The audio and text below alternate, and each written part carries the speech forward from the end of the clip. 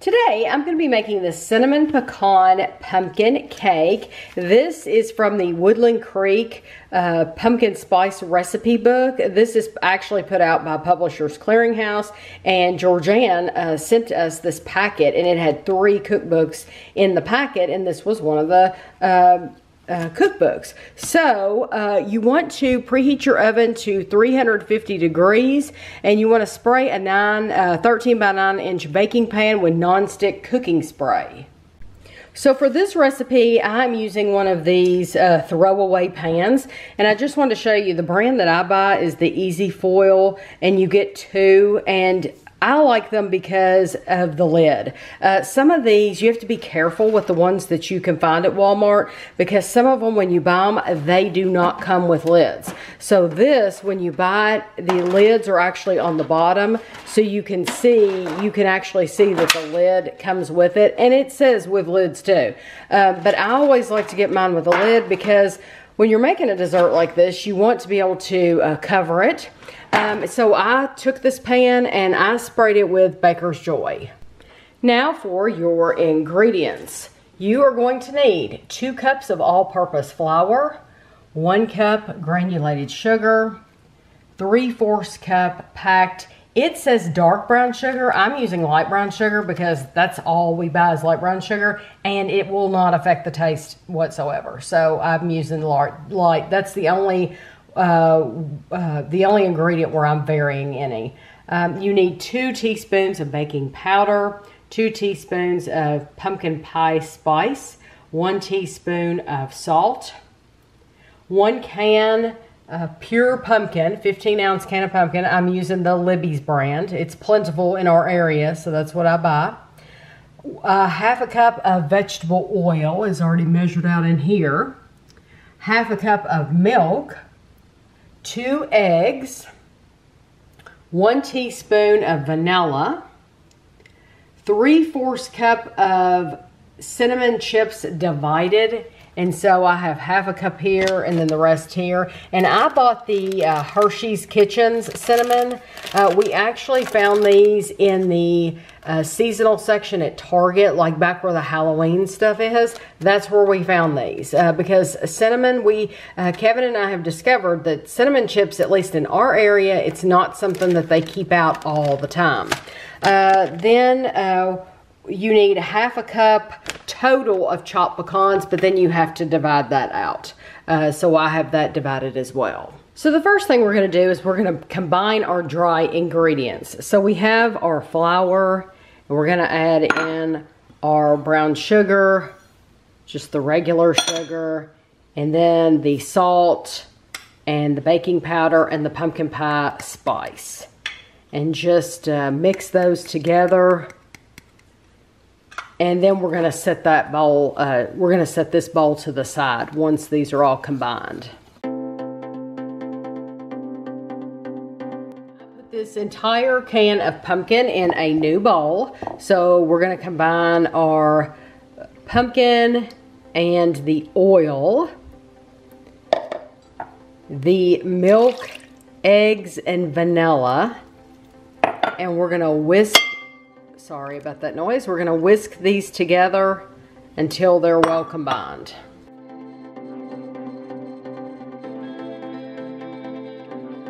We're going to add our flour mixture to this mixture until it is well blended. We're going to add a little bit of it at a time. And this recipe would actually be, I think, a lot easier in a, uh, a mixer but I decided to try this one without the mixer uh, just to see, you know, if you don't have a mixer at all, if you don't have any kind of hand mixer or anything like that, um, how it would work. So, so I'm doing this all by hand, just as an experiment.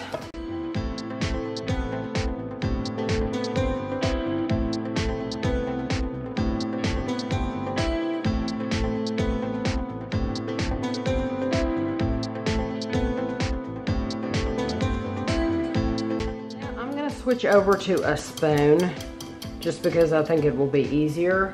So you want to stir in your half a cup of cinnamon chips and your fourth cup of pecans.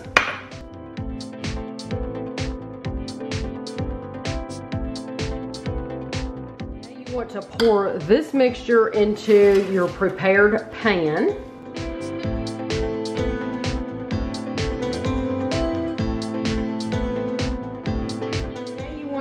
Sprinkle the top with the remaining cinnamon chips and pecans.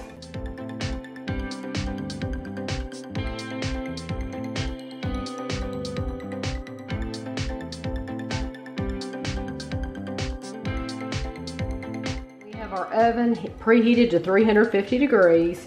We're gonna bake this for 25 to 30 minutes until a toothpick comes out clean. I'll probably set my timer for 28 minutes and then we'll be back.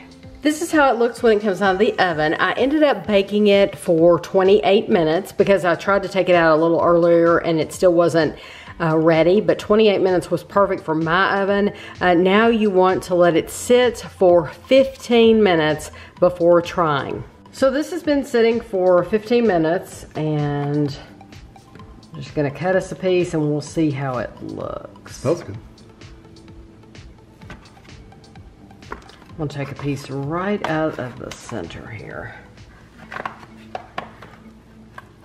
There we go. This recipe says it makes 20 to 24 servings and this cake is best the day it's made. So like right here, right now, this is as good as it's gonna get. And I think mine looks, uh, if I had taken a piece out of the middle, I think mine looks, of course they have shadows in their picture, you know, they have their fancy photography, but I think mine looks very similar to that, especially if I had gotten a piece right out of the center. Mm -hmm. So, it smells good. It does really smell the pumpkin. And I'm curious how strong these cinnamon chips are too.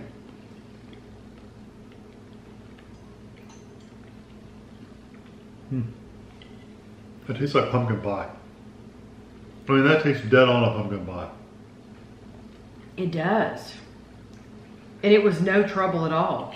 I didn't even get the mixer out for this one. I oh, did it by hand. Yeah. Now, my arm got sore. It really did because you know you're you're whisking everything by hand. So my arm did get sore. It would be easier to use your whisk in your mixer if you have one, but I wanted to do one a recipe not using the mixer at all just to show can you do it the same is it going to turn out if you don't have one and yes absolutely yeah, it's just more physical I mean that's mm -hmm. all the mm-hmm. mixer saving you is this the physical part because think about it 100 years ago, they didn't have electric mixers.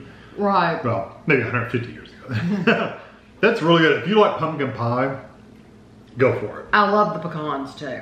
Yeah, and all, and you know what? The cinnamon I do get when I got cinnamon chip by itself, you can taste it, but just mixed in overall, you really don't get a cinnamon flavor. No, you're mainly getting the pumpkin, the mm-hmm. pumpkin, mm -hmm. the pumpkin, pumpkin, spice. spice. Yes. Let me try some of those. Just the. That's what I did. Just take it off the top, yeah. And it's it, uh, it's a strong cinnamon when you just get the chips. Oh yeah. But when it's all mixed together, you don't taste cinnamon. I mean, it you get cinnamon, but it's not. It's all mixed. It's not overpowering, yeah. No.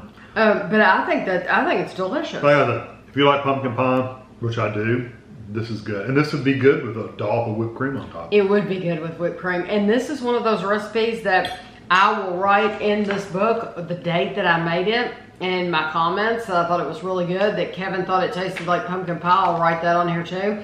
But I won't actually change any of the measurements because I think this had the perfect amount of pumpkin pie spice, mm -hmm. pumpkin, that full can of pumpkin, uh, the pecans, the cinnamon chips, everything. Yeah, everything I think really it was the perfect amount. Yeah. So, I mean, of course, you could always add more cinnamon chips or, or pecans if you wanted to. I don't to. think you need it. It's really well balanced yeah, the way it is. I don't think you need to at all.